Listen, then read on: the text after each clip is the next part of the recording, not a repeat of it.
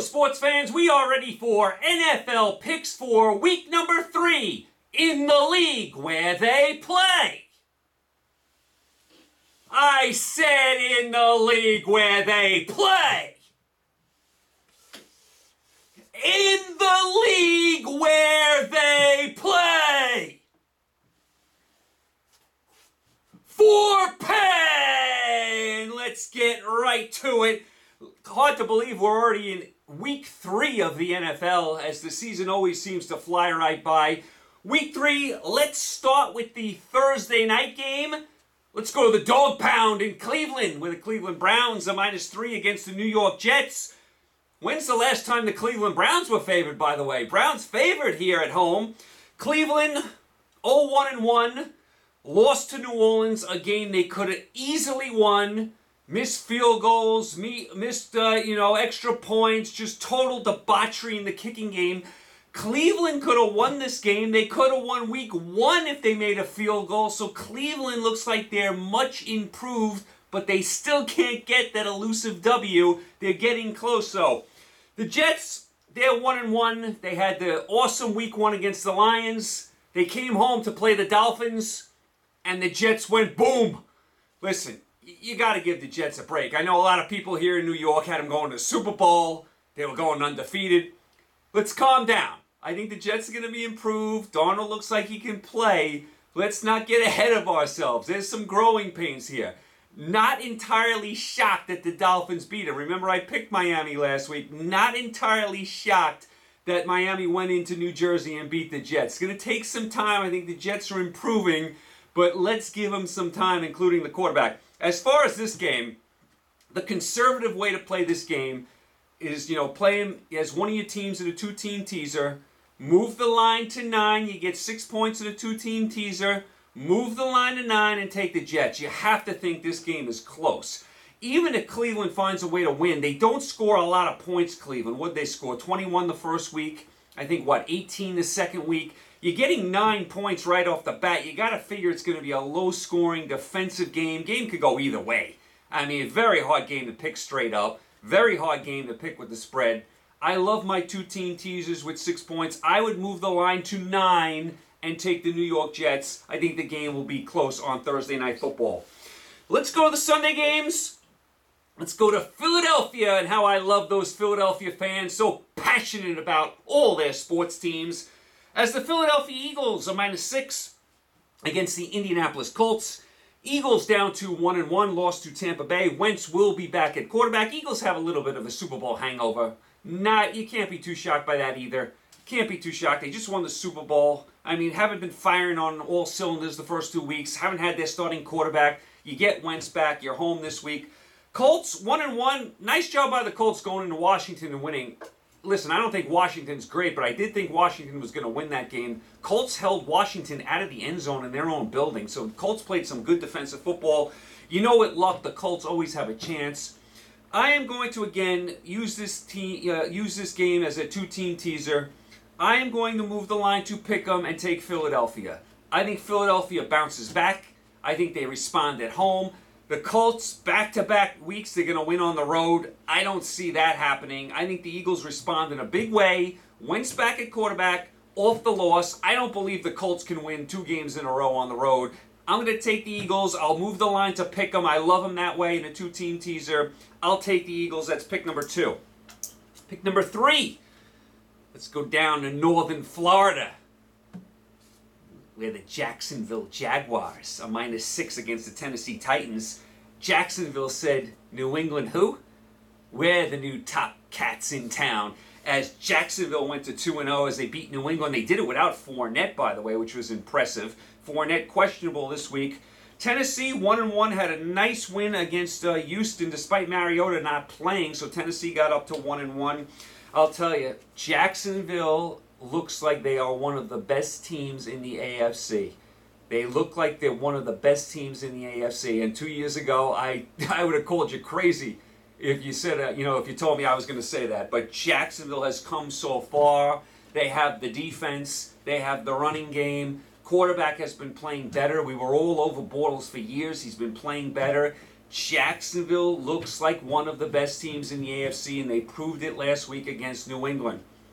Again, this game cries moving the line for a two team teaser. You get six points. The line is six. Move the line to pick 'em.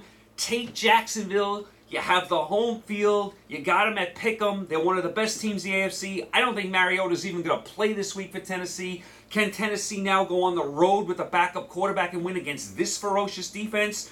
Fournette, we'll see about him, but I got to like Jacksonville. What's there not to like about them off the big win against New England? So I like Jacksonville there. That is pick number three. Pick number four. Let's go down to Atlanta, where the Atlanta Falcons are minus three against the New Orleans Saints. Saints up to one and one as they barely beat Cleveland and did not look good doing it. Atlanta one and one held on to beat Carolina. They almost let this game slip away. Atlanta had a 14 point lead, hung on at the end. Atlanta's got a bad habit of doing that. We know they have all sorts of talent. They have a lot of injuries now, Atlanta. This is a big rivalry down south. I just have not liked the way New Orleans has played the first two weeks. They lose to Tampa Bay at home, then they barely beat Cleveland and didn't look good at all for a lot of that game. I know this is a big rivalry. I know the game's usually close. The spread's only three, but I think Atlanta is going to find their way through in this game. I'm going to take the Falcons to win by about, oh, I don't know, four points to a touchdown somewhere in there. But I think the Falcons have shown me more than New Orleans so far. I have not been impressed with the Saints at all. They were so lucky to win last week. I'm going to take the Falcons there. That is pick number four. Pick number five. Let's go down to Texas, where the Houston Texans are minus six against the New York Giants. Texans 0 2, lost to Tennessee. What was Watson doing at the end of this game? What was he doing? They're down three points. You got to get rid of that ball. He took forever to get rid of it. Then he, I think, crossed the line. By the time he threw the ball, the time had run out. I mean, Watson, what are you doing? Watson right now looks rusty. Remember, he's coming off a serious injury, missed a lot of time last year. I mean, he hasn't even played a full season. He's a young quarterback. He looks rusty right now. Now the Texans, they did play the first two games on the road at New England, at Tennessee. Now they come back home. That is a positive. I do think the Texans are going to be good, but they really need to win this game. You cannot afford to go to 0 3. 1 and 2, hey, you can recover from that. 0 3, you're in for a lot of trouble. So I think Houston really needs this game. Speaking of really needing the game, how about the New York football Giants? 0 2 lost to Dallas, and they were putrid on offense. They lost 20 to 13, but the score is not indicative of how bad the Giants played. That game was 20 to 3 with less than five minutes to go. The Giants' offense was, and I know the Cowboy defense has improved, and we'll get to them later. The Giant offense the first two weeks of the year has been abysmal, atrocious. The offensive line, again, gave up 100 sacks last week. It's been a problem. It continues to be a problem. And what's with Eli Manning with that scrunched up face all the time, like that expressionless face, like he's got that silly little face all the time. And listen, Eli's won two Super Bowls, and in a lot of ways, Eli has been a better playoff quarterback than Peyton. I mean, we know Peyton's the, one of the greatest regular season quarterbacks ever, but he stumbled a lot in the playoffs. Eli has been good in the playoffs for the most part. He has two Super Bowls, but I don't know. I mean, it might be time to just uh, say goodbye to Eli Manning. I mean, I know it's not all his fault. The offensive line is atrocious, but the Giants look putrid on offense. Just terrible. The Giants, you stink! You stink! I mean, how bad were they the first two weeks of the year? Last week, you're sitting there with five minutes to go on the Sunday night game, and here on the East Coast, it's like, you know, what is it, midnight, and the Giants got three points on the board. The offensive line can't block anyone. They're giving up 100 sacks. Eli Manning's got that, that scrunched up face, like like no reaction from him at all. I mean, oh my goodness. Terrible performance by the Giants. And you think I could take them here under no circumstances. Again, the line is six. Move it to pick them in a two team teaser and take the Texans at home. I have to think the Texans at home are going to respond against a giant uh, offense. They can't block anybody. You can't block, you can't win. You can't protect your quarterback, you can't win. I gotta like the Texans. I think their defense will come alive this week. with Watt and Clowney and Mercilus and the whole nine yards. I think Houston will roll in this game. I have seen enough of the Giants. I think after this year, you, you know, do away with Eli Manning, draft a young quarterback to go with, you know, Beckham and a young receiver. I mean, the Giants are just such a mess on offense, and the offensive line atrocious, terrible. So I'll take the Texans there. That's pick number five. Pick number six. Let's go out to Seattle, the great Northwest, where the Seattle Seahawks are minus one and a half against the Dallas Cowboys. Seattle 0 2 lost to Chicago. What has happened to the Seahawks? They do not look like the same team at all. Now, I know they played their first two games on the road, but they are a mess, Seattle. Another team with offensive line problems, can't protect the quarterback, can't run the ball. The defense is nowhere near what it used to be. You can't expect Russell Wilson to do it all. They lost a lot of weapons on the outside. Seattle is an absolute mess. Now, they do have those great home fans, but there's only so much they can do. They're not playing on the field. Not liking what I see at all from the Seattle Seahawks. Dallas 1 and 1 beat the Giants. This was a nice bounce back win for Dallas after the horrific game down in Carolina. Listen, Dallas's defense is much improved. It's, it's funny for years, Dallas was an offensive team, couldn't stop anybody. Now they look like they're more of a defensive team and not as explosive on offense. Dallas definitely on the front, you know, definitely in the linebackers, definitely much improved. We'll see about the secondary. So far, the defense has been good. Offense, now listen, they did some good things against the Giants. Prescott did some good things running. Elliott running the ball, protected well despite the center being out. They really deserved to win that game against the Giants, really beat up the Giants on both sides of the ball for much of that game. So that was a nice bounce back win for Dallas. Again, I'm going to move the line to seven and a half here and take the Cowboys, thinking this game will be close. I do not trust Seattle at all.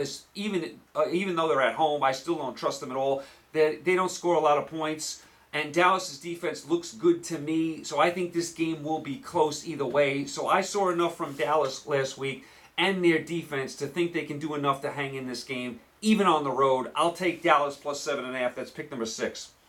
Pick number seven. Let's go to the Motor City in Detroit with the New England Patriots a minus seven against the Detroit Lions. New England one and one lost to Jacksonville. New England signs Josh Gordon. I didn't see that coming.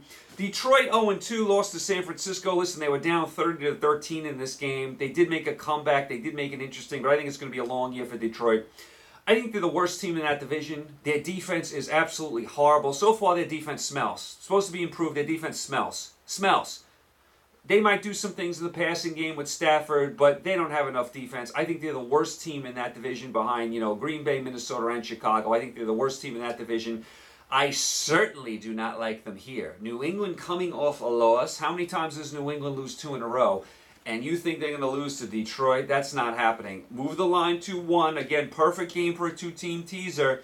You get six points, you move this line to one. All New England has to do is win. I have no faith in the Lions that they're going to beat New England.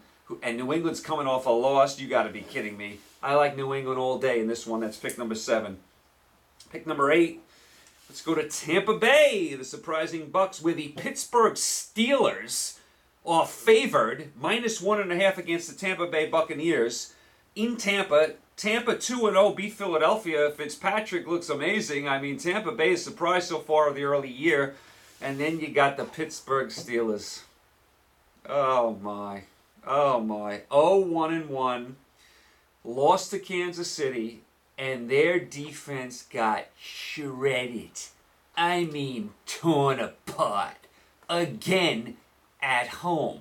The last two games the Steelers played at home going back to the playoffs last year, they've given up 4 billion points. They gave up a million points to Jacksonville in the playoff game last year, and they gave up 42 big ones, you know, this week as Kansas City dropped the big bag of goodies on them. What a pathetic display of defensive football for the Pittsburgh Steelers. And I know Mahomes looks great, and that chief offense is awesome, and we'll get to them in a second and that was a nice win for Kansas City, and they look real good offensively.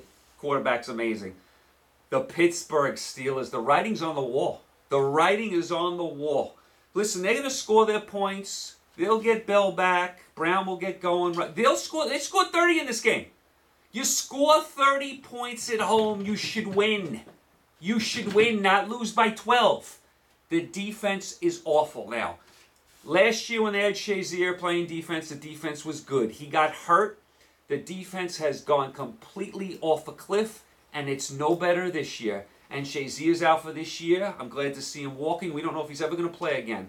The Steeler defense is a wreck. Bud Dupree, who they picked in the top 10 a few years ago, looks like an absolute bust. A bust. Why in the world they ever took him? When they drafted him, like, Bud Dupree, why are they taking this guy from Kentucky? You know, he was one of these guys with potential, and this is his contract year where you can send him to another team because he looks like a bust. Steelers have spent so much money in the secondary, added all these new players, and they got torched last week. It was like Godzilla just rampaging through Tokyo, just burning it up with his flames of fire. That's how bad the Steeler defense was last week. They didn't do anything to throw Mahomes off his game. I mean, what an embarrassing performance. The Steelers secondary, awful.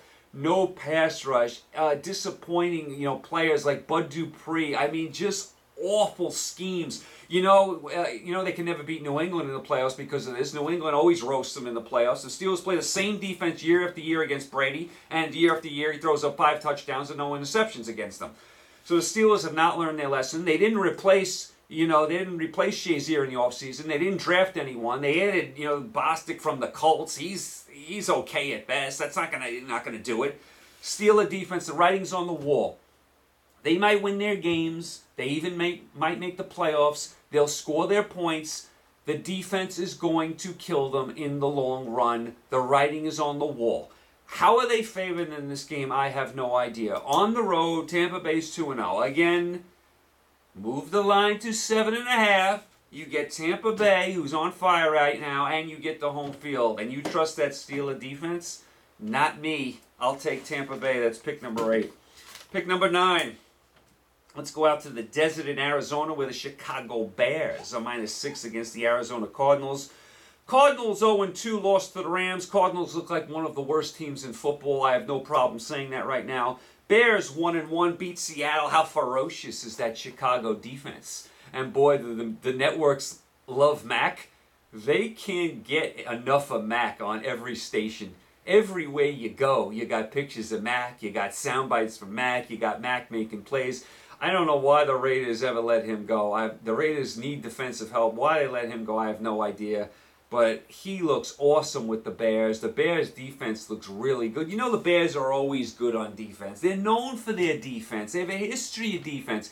How good is this offense going to be? You know, the quarterback does some good things, he does some bad things. But the defense should be good. Bears are known for the defense. I mean, what did Sean Connery uh, say in The Untouchables? That's the Chicago way. That's the Bear way. Defense, defense, defense. Bears look much improved this year. Again, the line is sitting there at six. What do you do? Two team teaser. You got Chicago pick 'em. You think Chicago's going to lose to Arizona? As a matter of fact, half the crowd in Arizona will probably be Bear fans. The Bear defense will eat up Arizona and Bradford or whoever else checks into the game at quarterback for the hapless Cardinals. Bears, that's pick number nine. Pick number 10. Let's go to Kansas City, Arrowhead Stadium, and some barbecue. With the Kansas City Chiefs are minus six against the San Francisco 49ers. Niners one and one beat Detroit, was blowing out Detroit, then got sloppy late in the game. Kansas City, how about them? How about the Chiefs? 2 0, beat the Chargers on the road in week one, and then go to Pittsburgh and beat the Steelers. Mahomes sets a record. He has 4 billion touchdown passes in two games. The guy throws an absolute laser beam. The guy is a stud. The guy is a franchise quarterback. The chief offense looks awesome. And the thing about Mahomes is he's such a young player. You can now start adding to your defense. You can put some money into your defense. You don't have to pay Mahomes right away.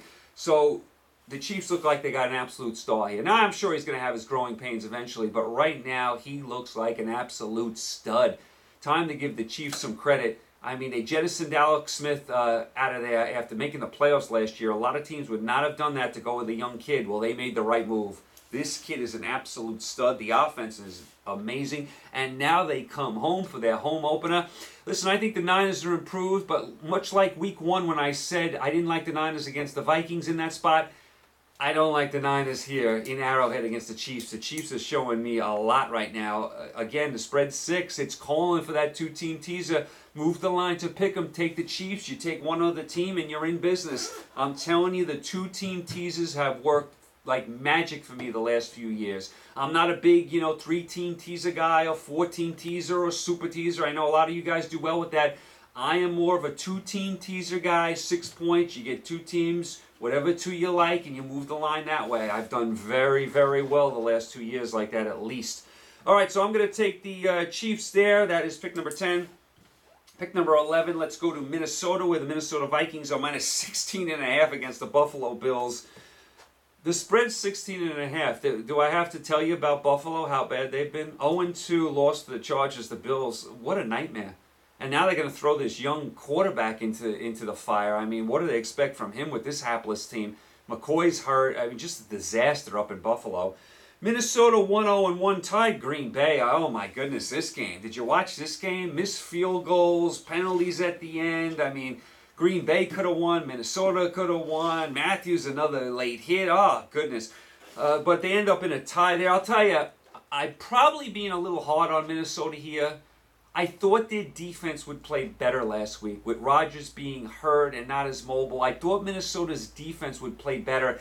Didn't like the way they played on defense at all in that game, but they did get the tie at Lambeau Field in just a wild game.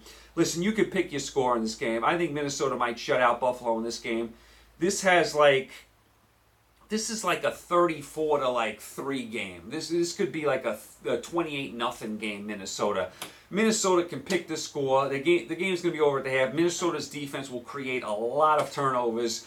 Minnesota will mash Buffalo. There is no way in the world Buffalo's going into Minnesota and winning. Take the Vikings any way you want. Vikings all day. That's pick number 11.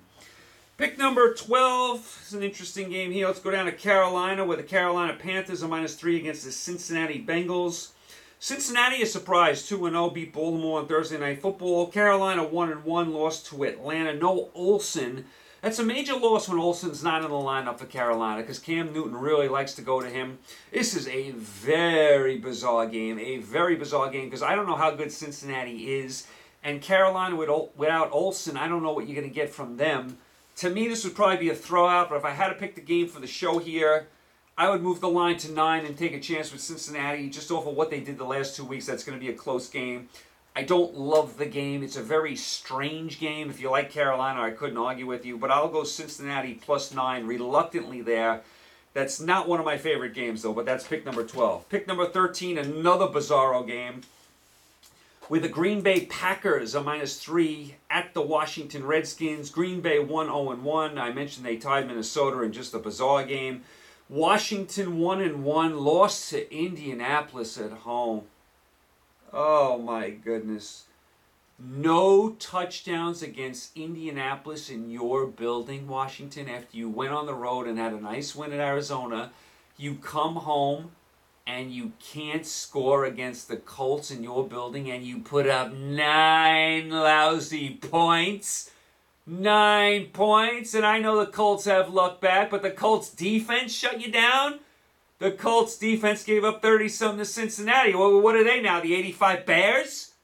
Oh, Washington, I'll tell you, another one that can never get out of their own way. And ever since that imbecile Snyder took over the team, a once proud franchise has gone completely downhill. Snyder, sell the team, please, and get somebody else in there. Washington has such a proud tradition. They have such a proud history. And then he bought the team and they can't do anything. They can't even score a touchdown at home against the Colts. Embarrassing. This game is strange because the line's only three. I mean, you look at this game and you say Washington just lost at home to the Colts 21 to 9 or whatever the score was. Green Bay's 1 0 1. They have Rodgers. On general principle, you'd think Green Bay would win. Why is this spread only three? So I'm gonna. I have a feeling about this game, just like I had a feeling last week about Tampa Bay. I have a feeling this game is gonna be closer than what most people think. So I'm going to move the line to nine and take a shot with Washington. Again, I do not love this game, but for the purpose of the show, I'm going to. I like taking home teams with a lot of points. I like doing that in my teaser. Now I, I'll predict one thing here. Washington will get in the end zone at least once. I will predict that. Take that to the bank. Oh, but Washington, show me some guts this week, you gutless, gutless team. They were so gutless last week. I mean, no heart whatsoever. Nine lousy points at home. I mean, you get 90,000 loyal fans there in Washington, and that's what you give them? Nine lousy points? I'm going to reluctantly take Washington there. Hope they show some pride. That's pick number 13. Pick number 14. This is another strange game where the Baltimore Ravens are at home, minus five against the Denver Broncos. Baltimore one and one, lost to Cincinnati on Thursday Night Football. Denver up to 2 0, won two home games, came back and beat Oakland. Oakland was winning this game for much of the game, dominating the game, and Denver had a furious comeback as they do a lot in the Mile High City. I think a lot of teams get tired in that altitude, and Denver came back and won. This is such a bizarre game because this is Denver's first road game. Baltimore, you don't know what they are. They beat Buffalo, lost to say this is a, this to me could be a throwout for purposes of the show, just like the last two picks. I'm going to move the line to pick them and take Baltimore. I think Denver is due for a loss, especially being their first road game. I want to see Keenum on the road do it. Baltimore's usually a good defensive team at home. They're usually a bully team at home. Ravens off a tough loss, long week. Uh, Denver has the long travel. I'm going to go with the Ravens there. That's pick number 14. And pick number 15, let's go down to South Florida where the Miami Dolphins are minus three against the Oakland Raiders. The Raiders 0 2, a disappointing 0 2, lost to Denver. Week one, they're winning at the half against the Rams, fall apart in the second half. They're dominating Denver in week two and fall apart at, again at the end of the game, so they're 0 2. I mean, Mack's having a great year with Chicago. That's got to sting, even though Gruden's saying, you know, I love the trade for the first, you know, for the two first round picks. Raiders, oh my goodness. So a lot of bad stuff there in Oakland. You know Chucky's going to have them playing hard, though. Miami, what a story so far with them. 2 0, went into New York and beat the Jets. Nice job by the Miami Dolphins. Nice job. They're a surprise right now. I got to go with Miami here. Until Oakland finishes a game, I'm going to go against them. And Oakland's got a long travel down to South Florida. You figure the Dolphins are all pumped up, being 2 0 at home. Raiders got to show me they can finish these games before I pick them. They've had the better of the play in the first half. They've petered out in the second half. So I got I got to see that they can actually finish these games. I'm going to take the Dolphins. That's pick number 15. And the final pick, the Battle of Los Angeles, with the LA Rams are minus seven against the LA Chargers.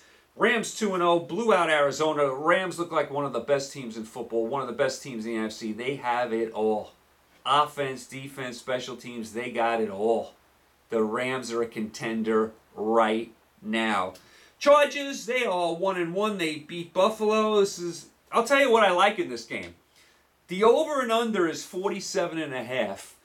You use that in a two-team teaser, you move it down to 41 and a half. You don't think these two teams are going to score more than 41 and a half points? These two teams put up a lot of points in bunches, especially in nice weather in Los Angeles. So uh, that's the way I like this game. Forget the spread and all that. I think the Rams are a little better, and the Chargers always seem to find a way to lose these type of games. And Bosa's out, so if I had a lean, I'd go uh, Rams. But I really like the over and under here. Move the line to 41 and a half in a two-team teaser, and play the over. These two teams could have that by the uh, end of the first half. So I really like the over in that game in a teaser. So that's how I would play this week. I had two good weeks to start off the year 11 and 5 the first week, 12 and 4 the second week. 23 and 9 the first two weeks. Can't complain about that. And you know i always get better as the season goes on. So there you go. You guys are all caught up. You guys are all set. Hope you guys are enjoying the game. Stay happy healthy and safe pick a lot of winners, make a lot of money. I'll talk to you guys next Tuesday. Sorry it took me so long to post this week. Had a few things to do yesterday, but I'll be back next Tuesday. Enjoy the games, make a lot of money, pick a lot of winners. Talk to you then. Take care.